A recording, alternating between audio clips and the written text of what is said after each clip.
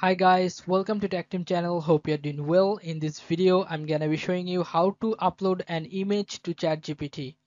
So in ChatGPT 4, you can upload an image, but in ChatGPT 3.5, you cannot upload the image.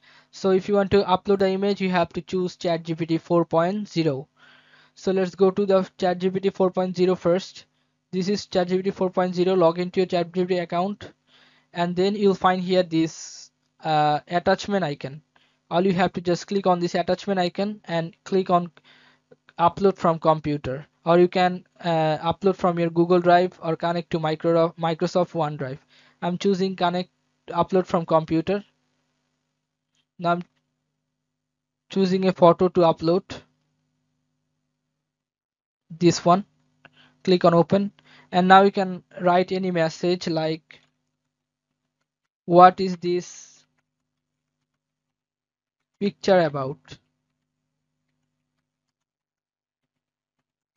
Now you can click on enter.